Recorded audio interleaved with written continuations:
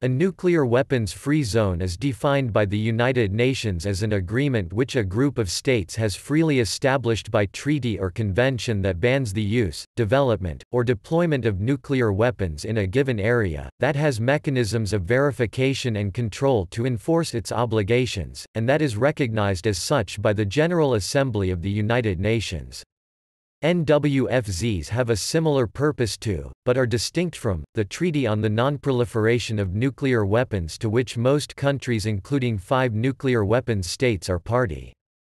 Another term, nuclear-free zone, often means an area which has banned both nuclear power and nuclear weapons, and sometimes nuclear waste and nuclear propulsion, and usually does not mean a UN-acknowledged international treaty.